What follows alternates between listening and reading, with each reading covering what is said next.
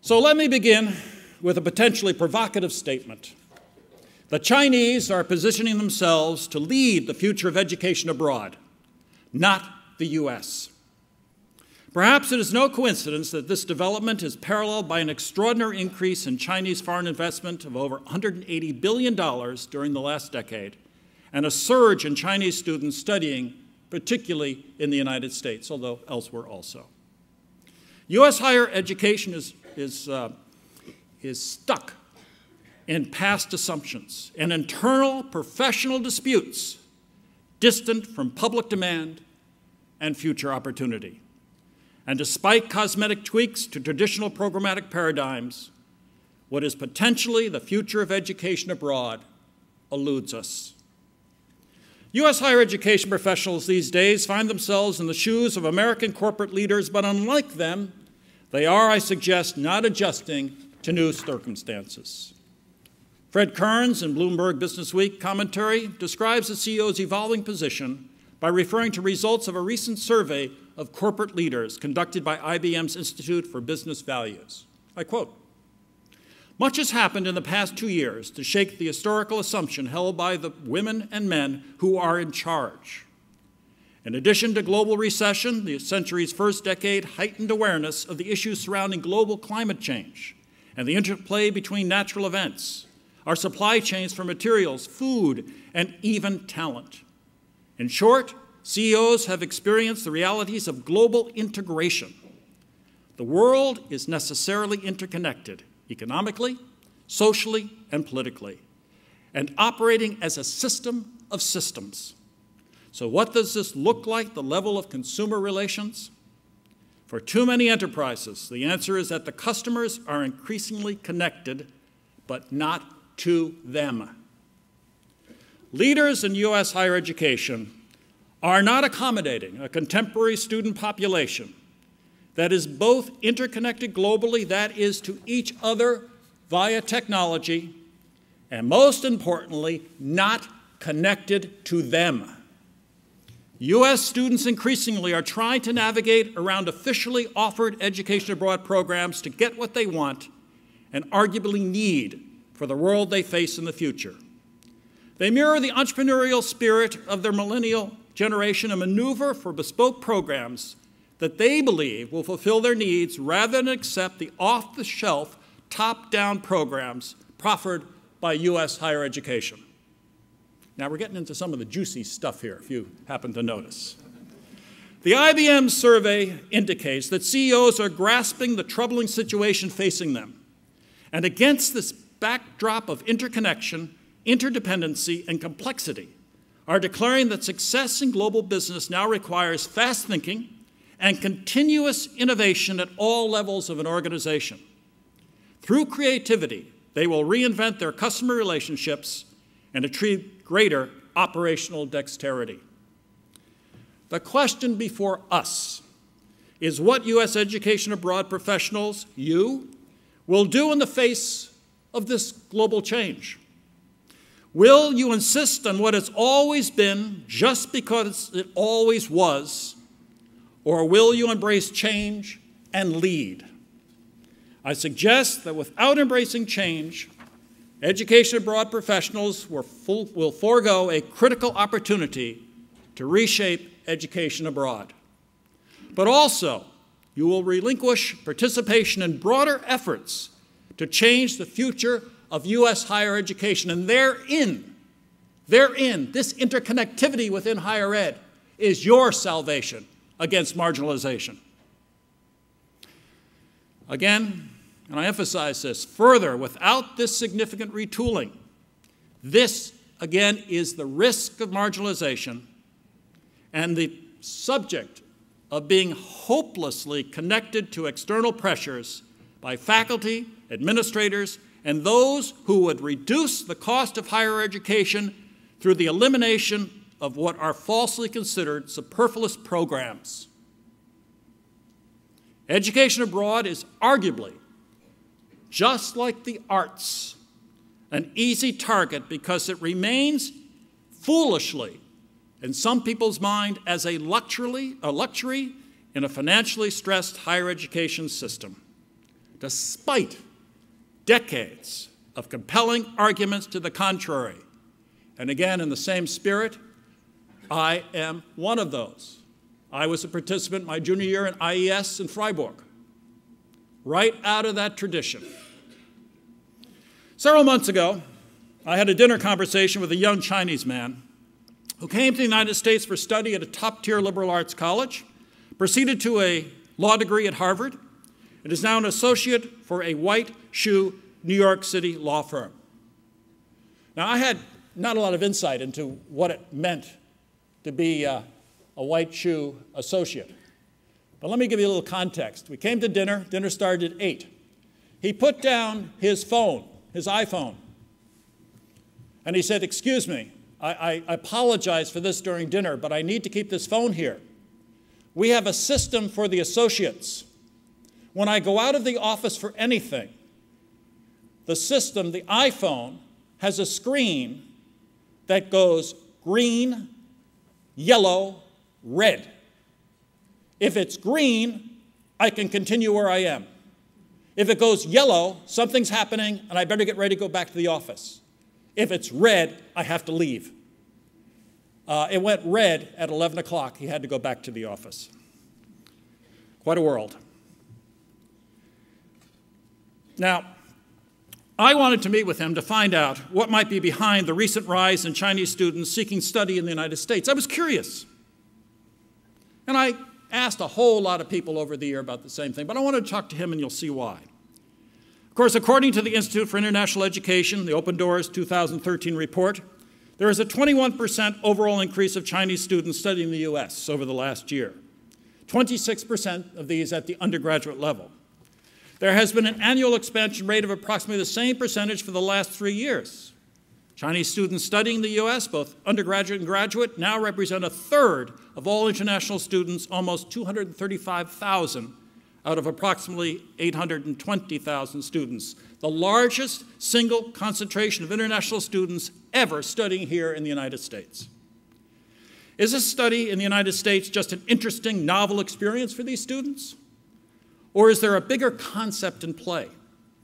I knew that this young man would have particular insight since, as a high school student in China, he founded and managed the most significant website for Chinese students seeking undergraduate study in the United States cuus.org or cuus.cn, as it is known in China. He remains involved with this website and monitors evolving thought about undergraduate international study in the United States by thousands of Chinese students. He began our conversation by stating that in China there are three factors in the last decade that greatly influence undergraduate education abroad, and that these factors are linked to a projection of what the Chinese desire from education abroad in the future. Not all aspects of this ambition are yet realized, but work is in progress. Like other aspects of their political, cultural, economic, and educational development in recent decades, the Chinese intend to supersede education abroad as currently practiced in the United States because they do not judge it to be the best model for global competitive success through international education, a statement directly from him. Now, the three factors involve schools, students, and parents. Let's start with schools. About 10 years ago, top high, high, schools, uh, top high schools in China had a special track to prepare its students for the two most outstanding universities within the country. In the last five years, this has changed radically. There is still a special track but it now prepares students principally for U.S. universities and to a lesser extent, yet still to a significant extent, the UK, Australian, and Canadian institutions.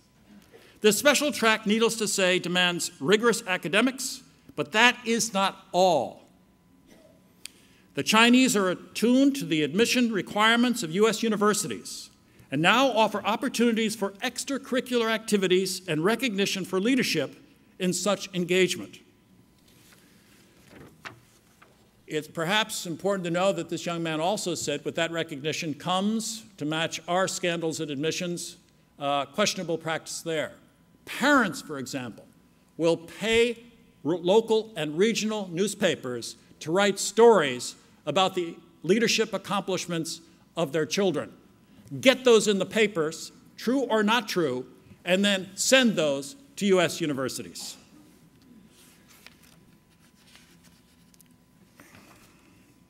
I naturally asked my dinner companion about why the focus was now so exclusively on education abroad at U.S. colleges and universities, and the answer was not what I expected. The explanation lies within the aspirations of the contemporary Chinese student. Students. As of 10 years ago, Chinese students seeking a U.S. undergraduate education were motivated solely by high academic ambitions. You know many of these students. They appreciated that knowledge, particularly in mathematics, the sciences, and engineering, was best obtained in the United States and not, they judged, in China. It was imperative that they study in the United States if they were to achieve excellence in their chosen field.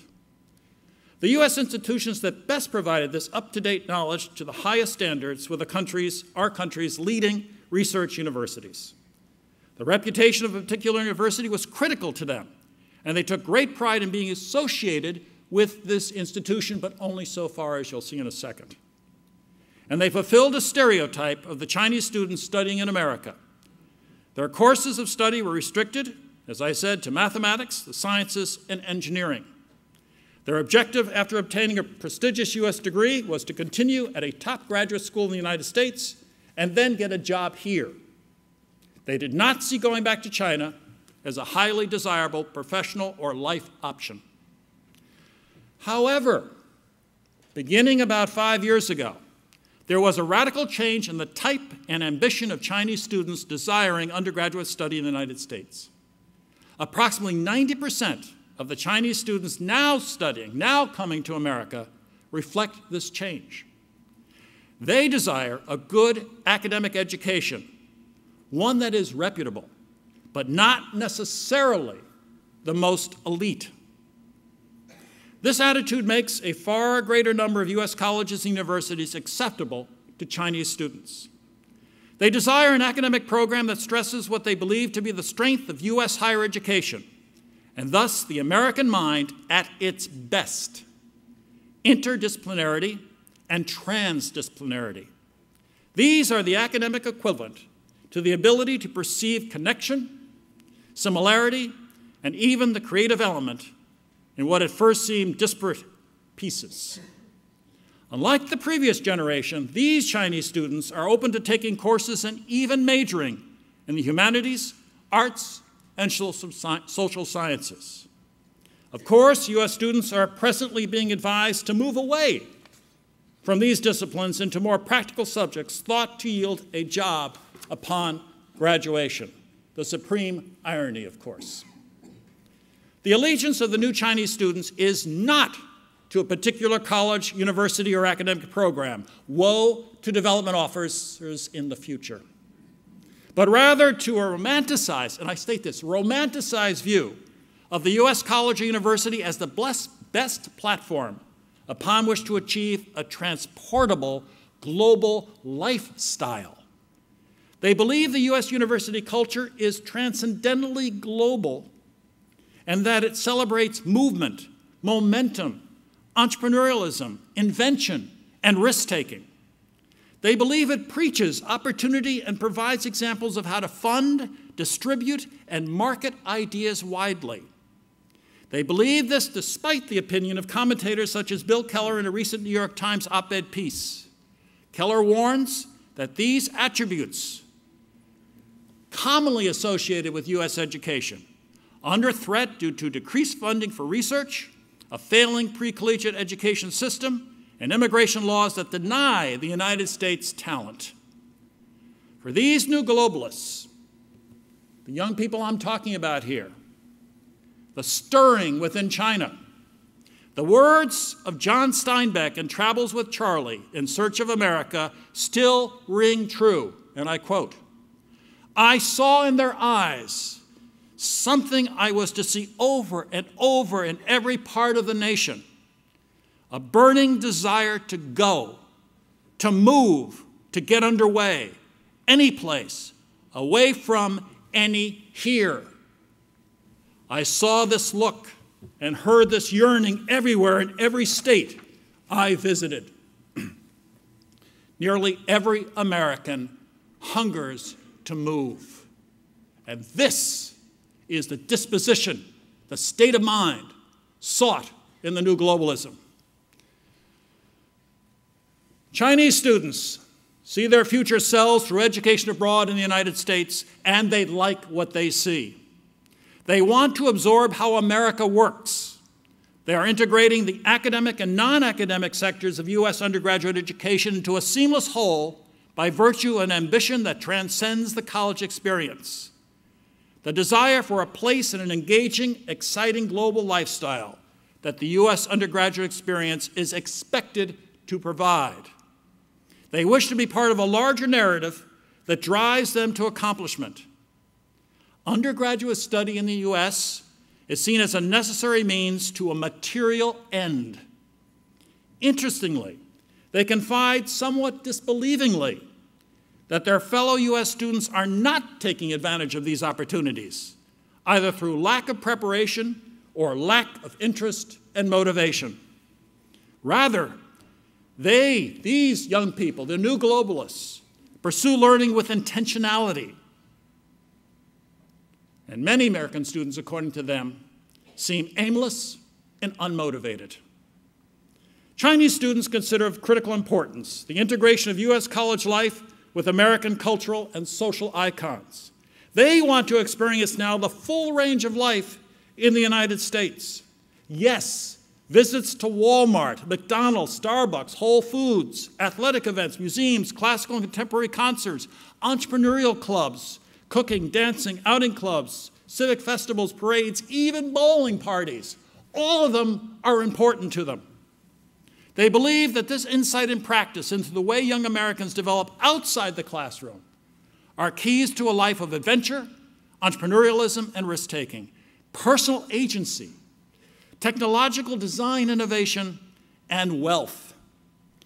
These are all deemed attributes necessary for living a sophisticated global lifestyle in the innovation society. And that's what they want the innovation society.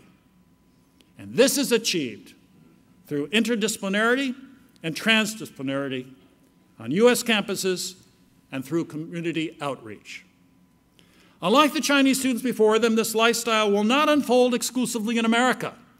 Their aspiration later in life with all this experience of the U.S. undergraduate, we're just a platform.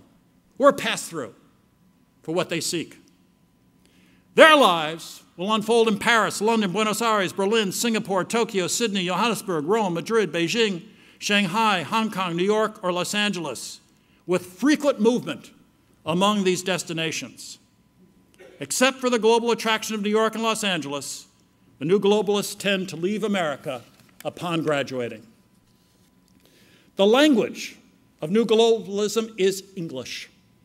Although this might not be standard US or British English, but a globally exercised English created by contingency, such as creative misunderstanding and misuse. Of course, each non native English speaking student possesses at least a second language from their place of origin, a global skill unfortunately not possessed by most US students, and therefore an obstacle to our students' full participation in this new globalism. While the new globalists lead with English as they live and work throughout the world, they have other options for communication when circumstances warrant. They are linguistically resourceful and depend on this attribute for global advantage and flexibility. They depend upon it for movement, unimpeded movement. In the case of Chinese students, they work diligently to improve their English competence while in the U.S and is, and is the ticket to the global lifestyle they seek. Now, I know what you're thinking. Many of you might think I'm creating an illusionary picture here. The Chinese students you encounter often seem to remain among themselves and speak Chinese frequently. They seem to self consciously isolate themselves. I agree that this scenario seems to be the case. But as often in life, appearances are deceiving. I equate the Chinese student situation to the simultaneous influx to college and universities in the U.S. of first generation students and those from American based socioeconomic and cultural backgrounds with wide achievement gaps, who through no fault of their own do not readily fit into the middle class dominated U.S. campuses.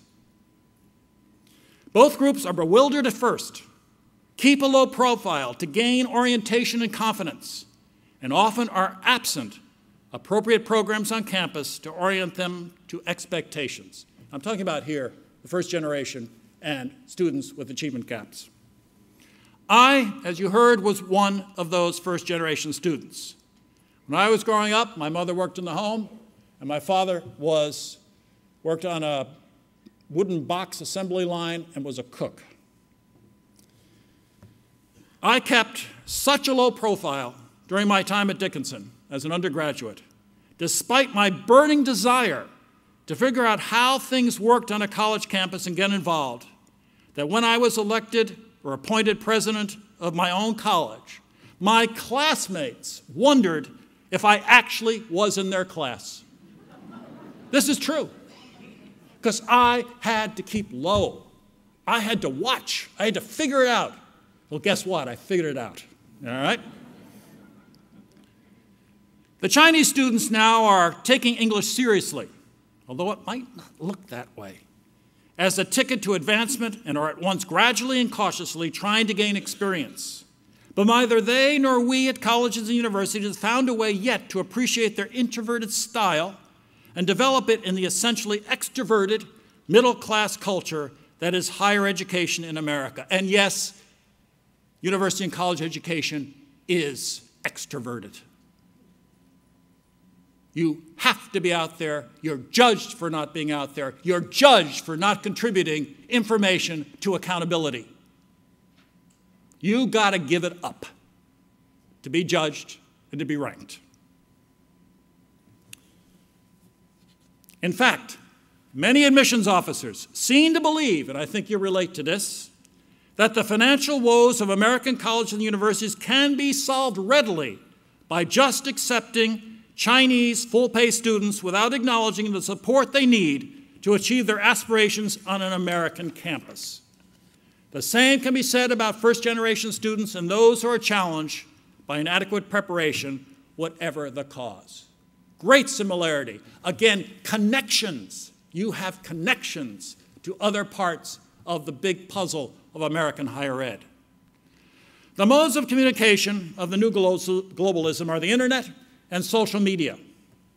The sphere of ideas and actions operates beyond a specific nation or culture with most time spent far removed from what previous generations would deem a distinctive local culture. In fact, this new globalism, and this is significant, I think, this new globalism generally dismisses any claim that there remain significant differences across cultures today, and thus applaud, recognize, and applaud a prevailing sameness of life across the globe, as defined by mass consumerism common technologies, and shared aspirational and financial values. Transculturalism is the watchword. Perhaps the notion approaches the words of the narrator in J.G. Farrell's The Siege of Krishnapur, and this is it. Civilization must be more than fashions and customs. It must be a superior view of humankind. Now, again, critically important. The new globalism, the new education abroad, is about seeking sameness, not seeking difference. And I would claim, because I went through it too, many of you did, that has been our posture in study abroad in America for decades. Go out there, find the differences, come back. The First Lady, in her speech in China recently, said exactly that. Go overseas and find difference. Go overseas and find similarity, a different approach. We'll get into that in a second. Well, this new globalism might sound superficial. There is a compelling desire by these students to be exposed during their undergraduate education to critical global challenges that they believe are shared by all people, regardless of nationality or cultural origin. Among these challenges are sustainability, peace, politics, ecology, uh, consumerism, health, technology, personal relationships, imagination and creativity, community building, immigration, global ethics, when possible, human rights, social change, wealth distribution, poverty, and entrepreneurialism. Big issues that we all are challenged by and share. And whereas study abroad professionals worry about U.S. students overseas having contact with locals, students of the new globalism are way ahead of them. They freely build shared alliances via the internet and through issue targeted face to face meetings all over the world. In fact, the very nature of powerfully shared global concerns simply reinforces students' belief in the sameness of the world. Study abroad is about commonality, not difference. And unfortunately, again, traditional study abroad in the US is based upon exposing students to cultural difference, not commonality.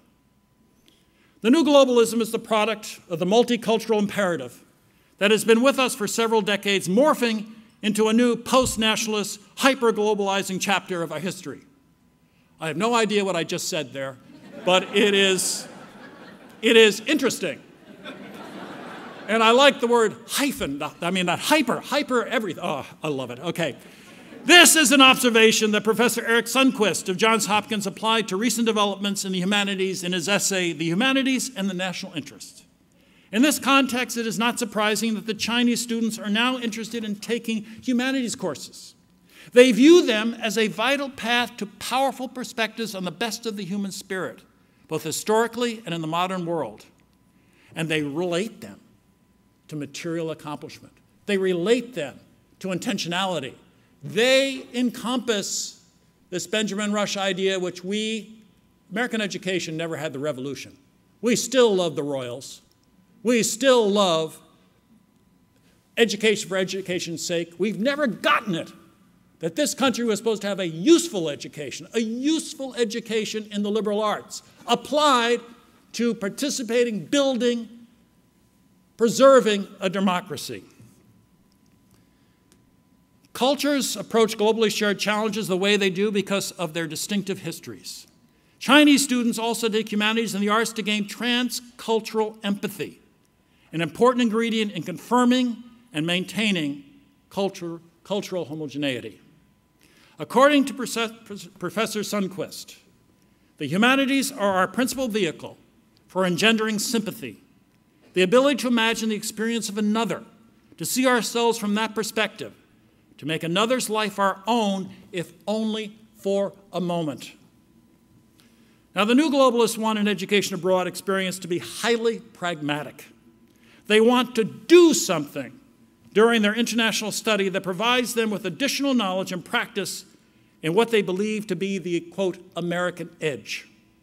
And they want to engage actively in areas of shared global interests that are already available on campus or in the surrounding community. Numerous Chinese students approached me at Dickinson and wanted to start entrepreneurial and innovation clubs. They wanted to be exposed to the big ideas of intellectual history especially as they pertain to the United States, and apply them to campus life.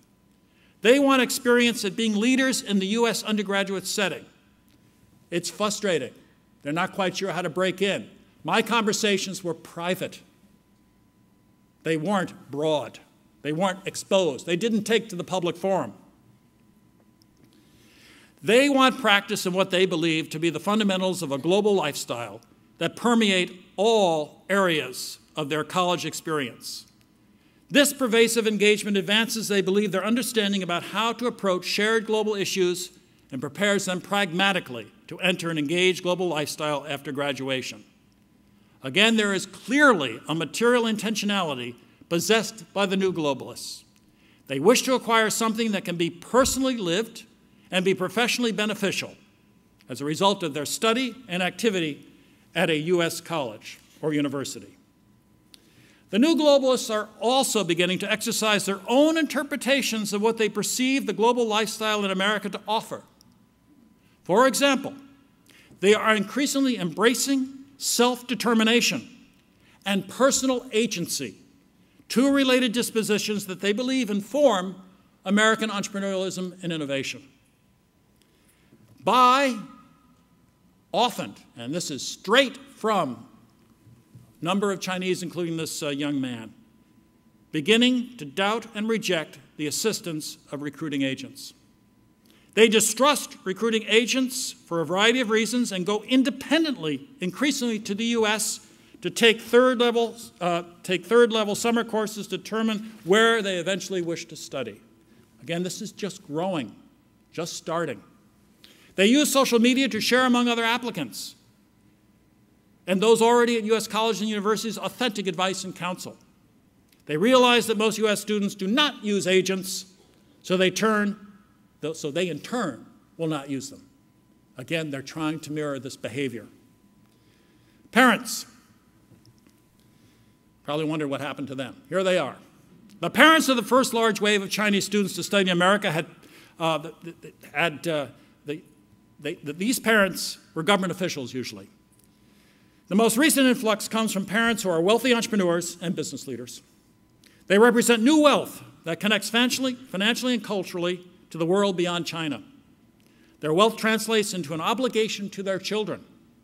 They would bring shame upon themselves if they did not provide them with the best education that money can buy, an education that relates to their ambitions, of their own ambitions, of a globally engaged, transportable lifestyle for generations now to come. For these parents, an undergraduate education abroad represents the indispensable platform for such ambitions. Now, the new globalism that I outline exists and is increasingly practiced by a significant proportion of the student population of the world in different degrees and different shades. Most definitely, we see the Chinese, but in varying degrees, the Germans, Japanese, French, Spanish, Brazilians, even English. The new global students for new global students, the whole is greater than the parts. Education abroad, the acquisition of a foreign language, participation in campus clubs, all this is directed to achieving what is most personally desired a global lifestyle. Now, there are three historical paradigms for education abroad, um, and these we need to deal with. Because in these three paradigms, we find that we have work to do. The first is intercultural paradigms. The second is academic disciplines. And the third is language and culture learning. Let me treat these very quickly. In fact, by the way, these three are increasingly without application as the field of study abroad fractures into competing winner take all schools of thought I regret this deeply. You'll see why. And I'm talking about you here. We see true believers and their followers with a vocabulary for each school, each school of thought in your profession that approaches in density and in, in invention that of the humanities. When it embraced structuralism, semiotics, and deconstruction several decades ago. The result for the humanities was devastating. It alienated itself from the general public, created a closed circle of communication of like minded professionals talking to each other in a jargon that only they could understand. I regret this, obviously, as my field is um, the humanities. And I was at Johns Hopkins when we were assaulted by structuralism, semiotics. Was in the change. I was there when Paul de Man, Girard, all these folks were brought. Excellent provocation, embraced, however, as true believers. And whenever you get into either ors, you're in trouble. What happened to the humanities? The public lost interest and support for them. And it was impossible eventually because they lost sight of others for the professionals to defend themselves against the public because they were in their own worlds. And I would suggest that you're doing the same thing. You are creating schools of thought in this room. You're creating jargon. You're doing it again. You are beginning to have more interest in your schools of thought than you are in the business of education abroad. If you accept my argument, how are study abroad professionals others in higher education perceived? Resolution is important because you do not work in isolation and are bombarded by demands from, from administrators, faculty, and students for all sorts of programs, whether, whether worthy or not. Often, those are established overseas. Of course, we can judge the new globalism that I describe as inappropriate, shallow, the playground of the spoiled and wealthy, who miss the point of study abroad. For me personally, it is a sad day when the world is judged without variety and disparate voices, beliefs and practices. But perhaps, and maybe I have to look this in the face, perhaps I am just of another generation, and the world I knew no longer exists. Perhaps what I thought was different is now trivial, and the difference is found rather today in approaches to shared challenges. Difference is commonality. Perhaps the globalism, or better, internationalism, I grew up with morphed into something else that is still a globalism that works for the coming generations. It is a critical pursuit for the world they face. That is always a possibility that I have outgrown myself and should not be dismissed by yours truly. And if this is indeed the case, what currently guides study abroad in the United States must be rethought radically.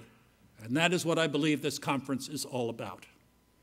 Now, again, let me take these three historic paradigms in a little more depth. Intercultural paradigms. A significant movement within education abroad theory is interculturally motivated. It is an interventionist position that posits difference in the world determined culturally and accessed by immersion of students into another environment to enlarge their more provincial perspectives. The new globalists challenge the interventionist position and call it passe or non performative. For them, the world is the same, as I said, and much that is considered different is in fact trivial. Yes, it is idiosyncratic, but not globally profound. Let me take Germany, my area of concentration.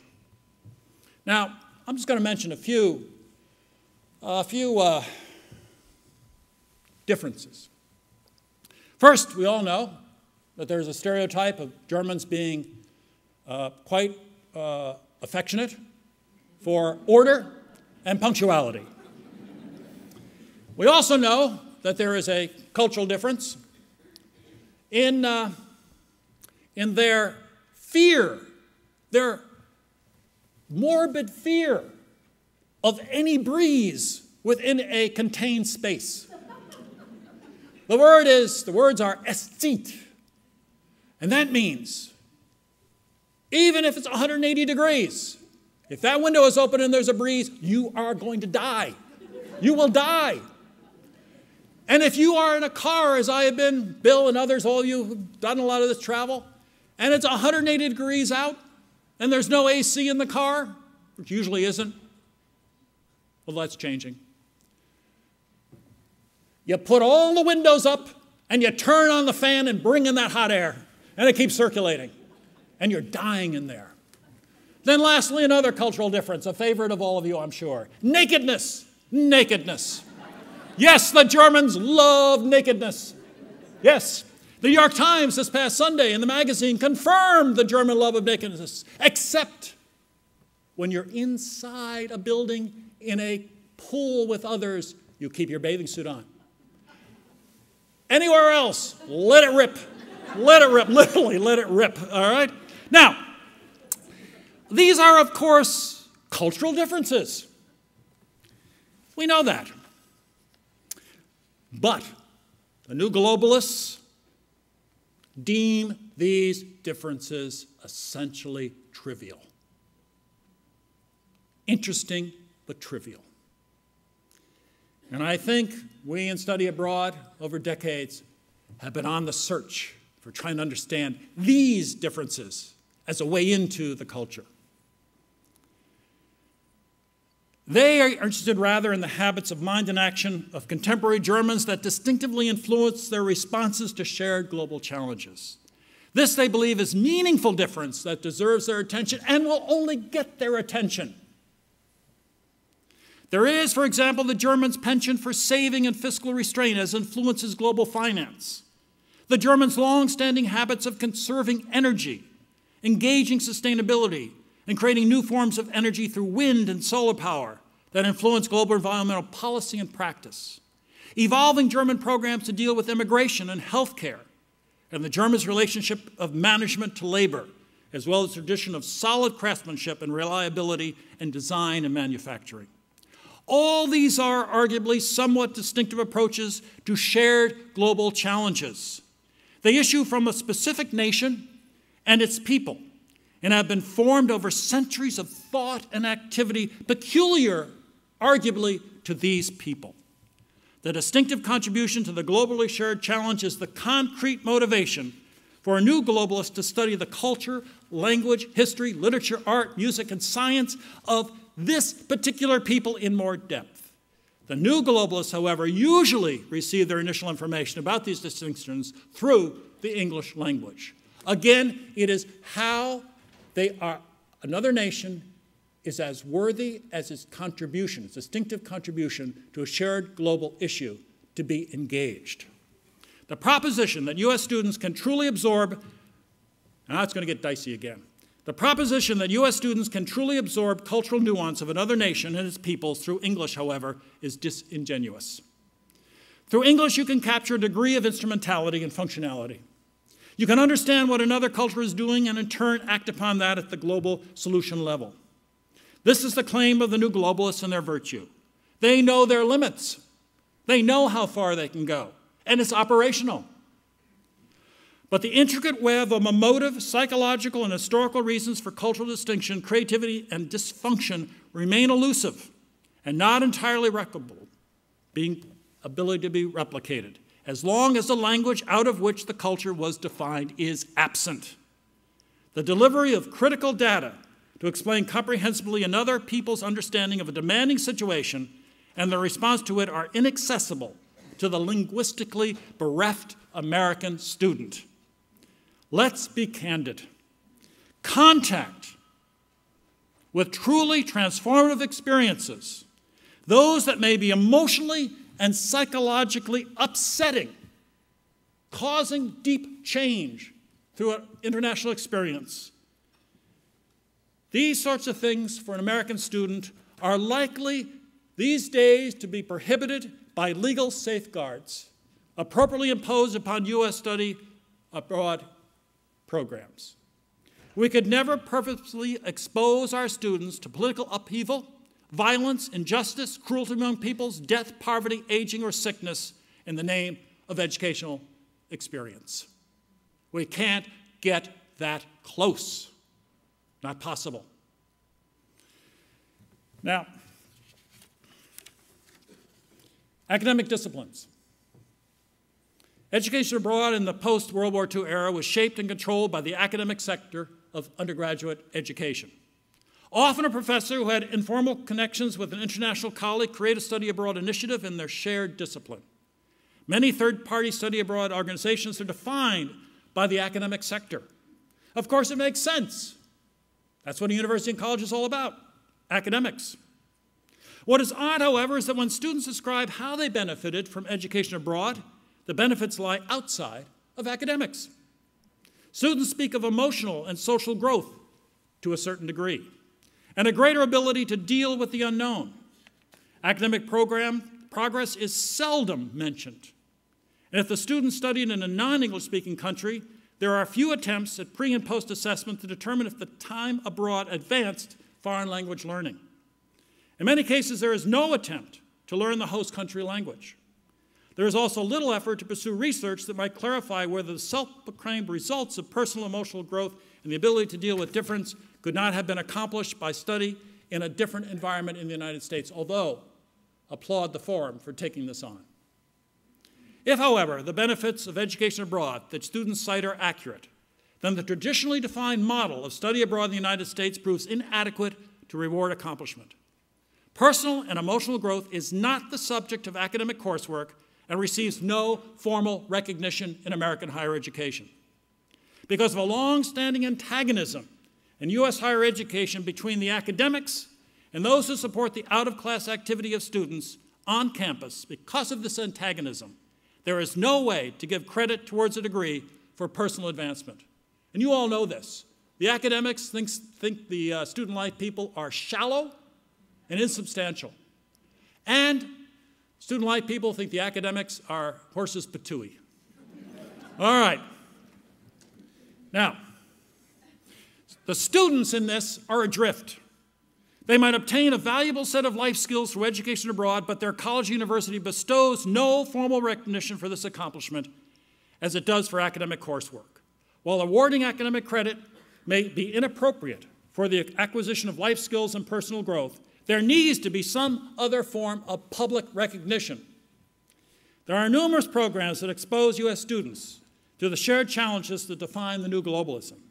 Often these initiatives include inter, uh, international uh, study before or after an on-campus portion of a class, and the foreign travel portion is directly related to the subject of instruction. Many of these courses are designated service learning, and they connect an existing academic course to volunteerism, community service, field research, or pre-professional internships. While such efforts are highly laudable, in my opinion, they lack critical components to define the new globalism, to match the new globalism. For the student, the objective of the initiative and the source of motivation is the academic credit awarded for the class. There is nothing motivating them beyond that academic objective, and there is no recognition again for non academic knowledge and skill acquisition. Unlike the new globalism, based on the intentionality of students to acquire a global lifestyle, something large, something that transcends the academic experience itself, U.S. study abroad exhibits an instrumentality that ends for the student at the conclusion of class. There is little to no reinforcement for what has been learned, no continuing connection to other coursework or out of class experiences, and no recognition of social and personal growth on the transcript. Now, there is this person called Dr. Rush, Benjamin Rush, and you heard about him. He was actually an early and prominent advocate of study abroad. He probably was the first in your field the first to advise a young person going abroad in written form. He anticipated the importance of education abroad, of out of class exploration, right from the beginning in this country.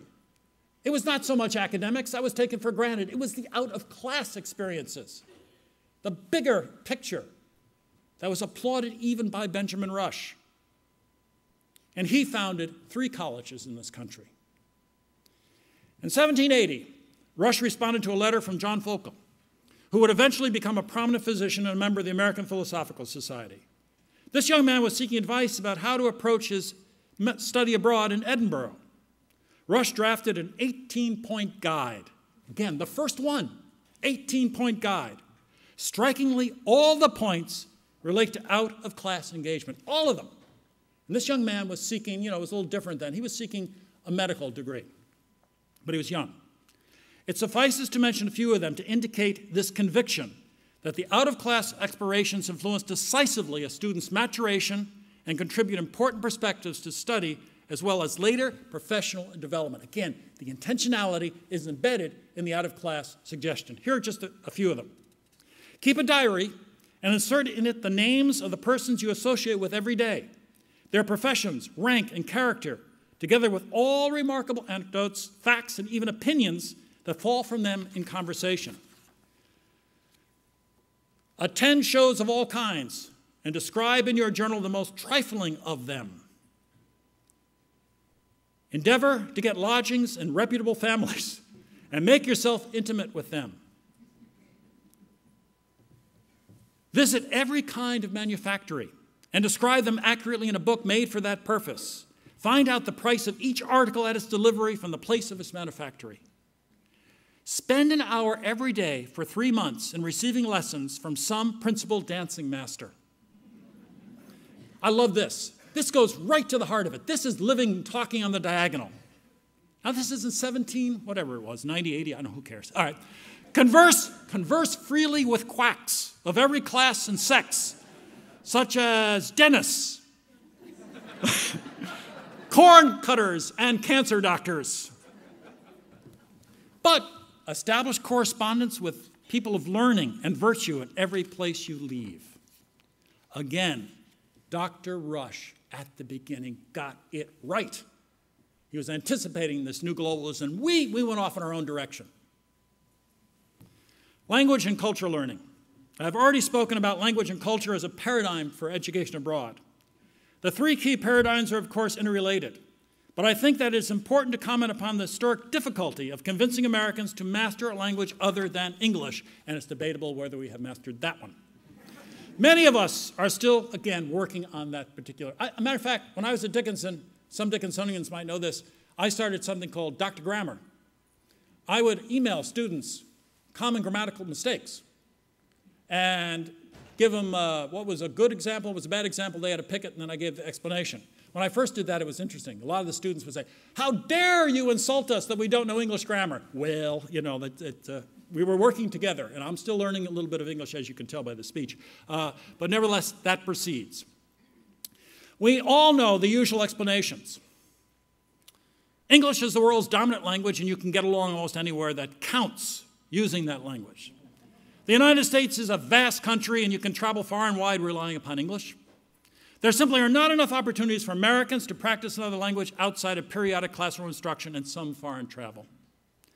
Now, we have noted that the new globalist student seeks to learn English in addition to having his or her native language, and that the use of both or multiple languages is critical to the global identity.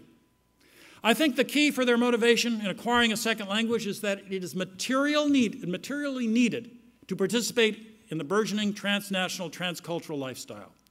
They desire to have a specific quality of life. They have concrete motivation. Again, it goes beyond take this course. You need it for graduation. Oh no, they want something more. They want a global lifestyle. They know the rewards of that. Their culture, broader culture, talks about it. The additional language is a practical tool in their approach to opportunity and challenge. U.S. students, to the contrary, while they have been warned repeatedly about the need to learn another language in order to participate in the future world beyond America, seem not to have been introduced to this transcultural, transnational lifestyle that could motivate them to learn one. Language learning remains a separate subject, with motivation being restricted to mastering the language and its culture for its own sake, and often is still based in literature. For all but the most dedicated and self motivated students, the pursuit of a second language to fluency is frustrating fruitless activity. And frankly, we at American college universities, we don't get anywhere near fluency usually at the end of four years. Let's cut out the joke. Motivation is a problem given the difficulties of practicing languages such as German, French, Russian, on and on and on in this country. U.S. students see little beyond the drudgery of learning a second language that they may not use in the future. It is all too abstract and distant for them, all too immaterial and given the circumstances, what I've just described, it's understandable that they wouldn't get engaged.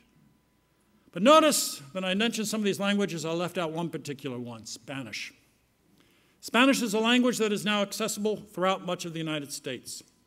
There are numerous Spanish speaking communities. There are bilingual persons living amidst monolingual persons. There are easily accessible radio and television stations. There are Spanish speaking countries in relative proximity bilingual signage in airports, on planes, trains, and buses is far more prevalent. The United States could solve its linguistic challenge and permit citizens critical access, uh, access to global competition and to this global lifestyle by adopting Spanish as our second language in the United States. As students from kindergarten on, as students from kindergarten on would learn Spanish as well as English. Now I know the arguments against this. America has but one official language, and that is English. Baloney. So it shall always be. That's what's said. As it explains our greatness and exceptionality, we are great through our evocations in English. It is unpatriot, unpatriotic to dismiss English as our nation's one official language, and on and on, so it goes. This argument, of course, is like the claim that Christianity is our nation's official religion. Our founding fathers again rejected, again and again and again, calls for one state religion centuries ago. I am of the opinion that founding fathers established a nation that was to be, to be dynamic and open to change in order to provide for its continuing growth and prosperity. If that growth is now diminished by our students not gaining fluency in a language other than English and not gaining opportunity to a global lifestyle that will be the future, then we are doing in what those founding fathers intended. We are limiting linguistically their chance at the next generation. Our students, if Spanish were the second language, they would, uh, they would be gaining access to trans- transculturalism and transnationalism. That lies ahead for our nation. When that occurs to other languages, what then occurs to other languages if the schools are concentrating on English and Spanish from the beginning? Now, this will be tough, even for my own field of German. These other languages will be studied with intent, as when young people seek personal access to a particular culture's perspective on a shared global challenge, and not in the forced, superficial nature that they are now approached by students. This will provide the motivation that is now absent in U.S. education for language learning. It captures the imagination of the current generation and helps them to make a difference in the global issues that matter to them. This motivation can be advanced by purposeful study abroad at both high school and the college level. Of course, this will be the motivation for the vast majority of students, but not for all. This new globalism. There are some students, and you know them well, who simply want to study a specific language because of family heritage or for pure love of language. This is excellent, but there are not enough of them. Others will study a language because of a specific academic interest. They are the easy cases, but the vast majority of U.S. students will need to be encouraged to acquire a second language for their own sake and for the sake of the nation. That, in turn, will lead them to participation and accomplishment in a transnational, transcultural lifestyle. So, to summarize, what are what is the new globalism that unfolds through education abroad? What am I talking about here? One, the new globalism affirms sameness in the world through transculturalism and transnationalism. Two, difference among peoples is a negative unless that difference reflects a particular culture or nation's approach to shared global challenges. Three, the new globalists want practice during undergraduate years through targeted, customized programs in and out of the classroom in order to identify solutions to shared global challenges. Four, U.S. colleges and universities are the desired platform to gain the knowledge and skills that define the new globalism. Five, education abroad students validate the worthiness of both academic and non academic programs of a U.S. college as important to gaining the new globalism. In academics, the new globalists want interdisciplinarity and transdisciplinarity. In out of class activities, the new globalists want to experience the diversity of U.S. engagement and practice leadership among fellow students. The new globalists speak at least two languages, and English is the shared language for the new globalism. The new globalists will live a life of high mobility and will remain connected principally through social media and the internet. Now, of course, not all students going abroad will be so intentional and pursue so vigorously shared global concerns, exploratory vocational opportunities, and greater ambitions as those I describe. And again, you know these students, they're still there. For these students, study abroad remains essentially a chance to see the world, continue what they know best, albeit in another environment, and yes, party, and spend most of their time with other U.S. students despite your best efforts. Yet, and here we are in that gradual change. Here I am out on a limb. Yet I predict these students will be increasingly affected by growing social messaging in pre collegiate education among their colleagues, among their peers, and in society in general. They will be marginalized because there is a growing feeling that this is frivolous. And this is going to be increasingly so as the financial situation of colleges and universities worsens. There's going to be demand that there's intentionality with education abroad. And partying and wandering around seeking difference, not relating it to much else, it's not going to cut it. And students will begin to tell each other that. So this marginalization will occur.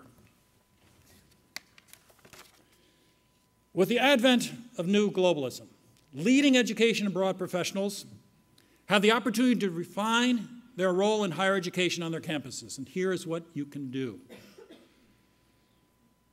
They need to join, you need to join with faculty and other administrators to define a 21st century education for all students. Now, this can be done in several ways, and this is the concrete part of all of this rambling. Be strong advocates for better coordination between academic and non academic life and education abroad. Introduce assessment procedures and recognition for knowledge and skills gained through non academic activities. Such achievement should be formally recognized on the undergraduate transcript. What I am saying is take a role in the greater reform of higher education. Do not accept marginalization. You have knowledge, you have skill that is part of the larger question. And this divide we have in the US between the academic and non academic is not sustainable. Remember, this country made a decisive decision. Our decision at the beginning, and I keep going back to the beginnings because it tells us a lot, it was that we in the US, for a lot of our education and for centuries, we would have a residentially based campus. Residentially based. Now, if residential life is simply one big expensive party, we have gone wrong. So you can be part of that, solving that for all the other administrators who are trying to figure it out. Implement pre and post testing of second language acquisition for study abroad programs and require it. Such testing will advance the impact of, of education abroad and clarify the connection to academic achievement. Work with faculty to advance interdisciplinary and transdisciplinary studies on campus and overseas. Again, the new globalists are receptive connections among humanities, sciences, social sciences, and the arts. Such connections are the source of solutions to shared global challenges. Work with faculty to design customized course related education abroad that focuses on globally shared challenges. Again, your future is intentionality. But that is not an either or. Emerson said something else in the essay Self Reliance, or I think he did. And that is this distinguishing characteristic of the creative person is to entertain two contradictory thoughts simultaneously. And frankly, intentionality does not exclude what we all, I think, like, which is a looking about, a scanning of the environment. They are not either or, it can be both. And the sweet spot is what we're after, the creative part in the middle. Redefine what it means in U.S. higher education to be a global campus. That lies before you. Establish a campus culture that encourages a wide variety of students to focus on shared global challenges. Reach the campus through the shared global challenges, not through pounding away on education abroad. You've done that. It's like pounding the liberal arts. Glaze, just a glaze. You've got to come at it a new way. Seek commonality and seeming difference. Appreciate distinctive approaches to these challenges through differing cultural backgrounds. Contribute to that broader conversation. Lead the national challenge to adopt Spanish as the United States' second language. Ensure economic and cultural competitiveness for our nation in the decades ahead and for our young people. Encourage the acquisition of additional languages in ways that our students discover personal motivation for acquiring those languages. Spearhead efforts to instill U.S. undergraduates with the ambition to achieve a global lifestyle through education abroad and the pursuit of solutions to shared global challenges. You gotta let them see it. See what it's like when you live a life that is globally infused. My whole life, after, I know Mary's here and others, but I'll tell you, my IES experience, and our groups stayed close. We just had a reunion how many, 40 something years later in Freiburg. Our group got together. Still. But that put me on a path of a globally infused life. And that was critical. Critical. And lastly, join with other higher education leaders to identify the role of digital technologies in undergraduate education. Again, hook onto another topic. Hook on to something larger. Don't look in the navel. Don't stare at the navel. Your future is not just pounding away and redefining, well, redefining education abroad, but not redefining it and how it's been done and pounding it. Add to this the potential of an undergraduate education that involves students and faculty spending considerable time away from one physical campus. It's all part of moving in the electronic direction. Now, I want to caution before I, I end here. Let's go back to the Chinese a second. A critical question to ask before concluding is whether or not the new globalism can exist without a students assuming political and economical liberalization or democratization. That is, without being schooled in this perspective.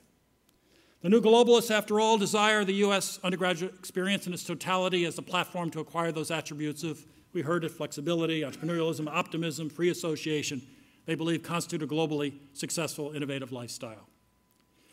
Their sourcing of U.S. higher education is, however, ultimately instrumental in that they are silent about political assimilation. Yes, the new globalists display empathy for solving shared global challenges, but the degree to which politics enables instrumental change is not articulated. In fact, it is silent and avoided. But can those attributes that the new globalists wish to acquire be fully exercised without the democratic political system upon which U.S. higher education is based and other countries? Will this dilemma ultimately confound, in particular, Chinese students, in, uh, or will they represent the new leadership that establishes economic liberalization without political liberalization. Is that possible? Economic liberalization without political. Will their leadership redefine Chinese politics, or will they abandon China completely for life and work under other political systems internationally?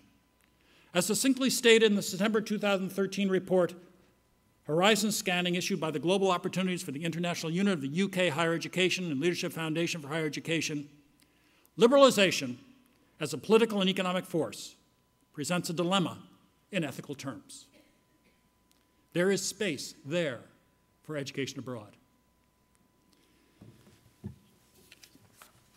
The need for fundamental change in education abroad in U.S. higher education stands before us as a challenge to build, to, to, uh, to belief in the immutability and durability of current practice.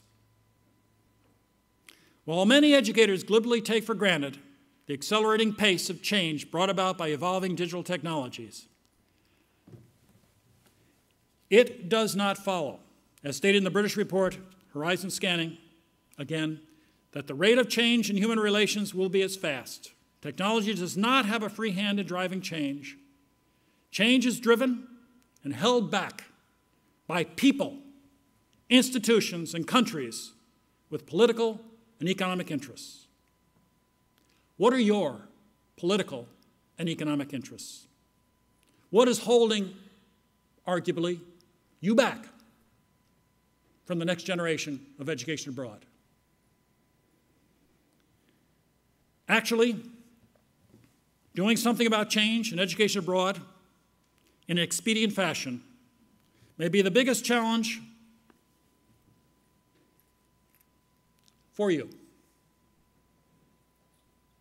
Ironically, I would suggest that the impetus for this change will ultimately come from without, and it's not going to be of your own making. We're moving into that next stage.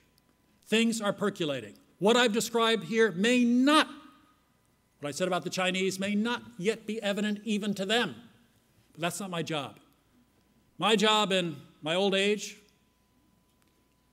is to poke, listen, bring dots together, and try to predict what's coming. Again, what I predict today may not be what I predict tomorrow. But don't worry, I'm not speaking tomorrow. Thank you.